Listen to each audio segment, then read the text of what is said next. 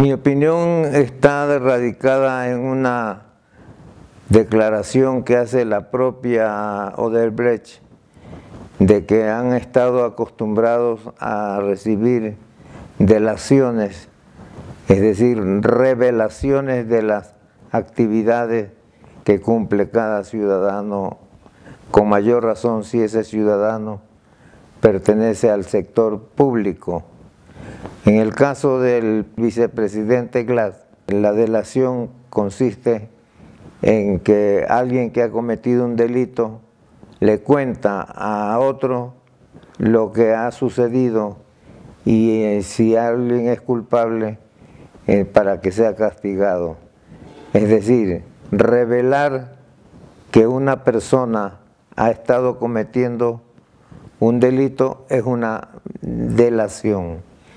Entonces los brasileros han estado acostumbrados a recibir delaciones y a pagar por esas delaciones.